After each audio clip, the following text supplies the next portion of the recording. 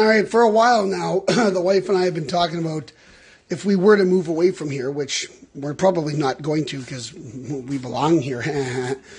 we were looking at places like Selkirk, Lockport, even Rosser, Manitoba. Just that's a nice little town. It looks like so. Rosser, Manitoba, it very well may be.